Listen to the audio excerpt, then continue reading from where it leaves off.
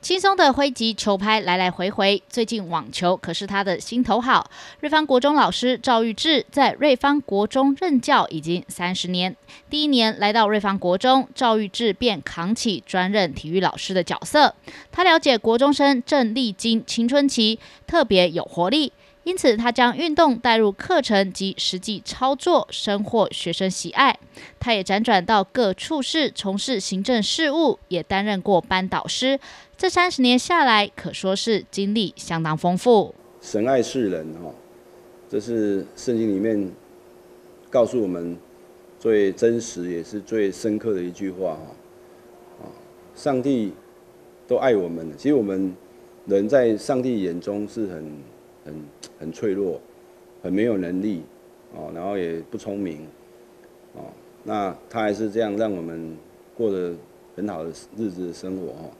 那其实我们当老师的看见学生，学生就是来学习的嘛，他能力一定需要再增强嘛，那他也是需要帮助，哦，这这是一个转化，哦，所以我们将上帝给我们的爱，哦。来分享给身边的小朋友。除了在瑞芳国中任教，他也积极参与地方社团，像是早泳会，也因此结识了许多瑞芳士绅。对赵玉志来说，都是特别的缘分。除此之外，他也在教会辅导青少年，目前担任长老。而对于石头，他也是情有独钟。那嗯，我也很感动呢。嗯，赵老师能够呢，在他的领域里面，呃，造福我们的孩子。啊，第一个感动的话就是说，呃，我这里呢有一颗他最喜欢的收集石头。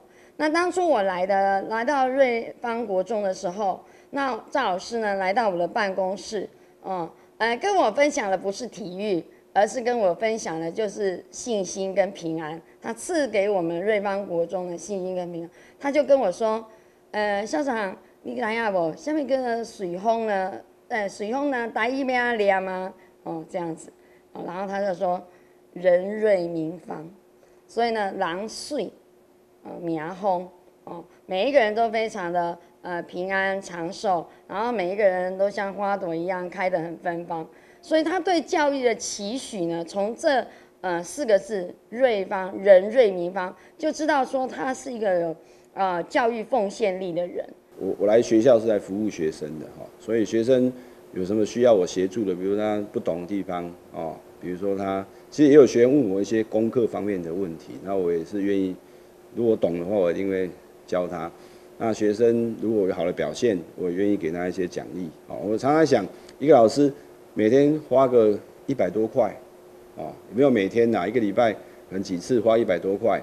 那一个月可能花个一两千块，帮助这些孩子，让孩子每天来上课很开心。其实我自己也觉得蛮开心的哈，因为我觉得每一科科目都一样，你这个科目你只要教到了孩教到教到孩子喜欢这个科目，其实你就成功一半了。哎，不管他学的怎么样，他就是喜欢，哇，他喜欢上课，喜欢喜欢学，比如他喜欢学音乐，喜欢学美术，喜欢学英文，喜欢喜欢算数学，不管他学的好不好，至少他愿意，他喜欢，其实这个老师就已经成功一半了。回顾这三十年在瑞芳国中的教书生涯，为了鼓励学生挑战自我，他常常自掏腰包，带着挑战成功的学生，就到便利商店买饮料或零食。看到孩子们脸上挂满笑容，也让他感受到施比受更有福。而自身信仰也让他在教学生涯中起了很大的作用。他认为，老师最重要的事情就是要照顾学生，学生有任何需要协助的，他皆来者不拒。他说，他教学重在学生能够喜欢上课，让学生自发性产生兴趣，便是老师的成功。谢成威、瑞芳采访报道。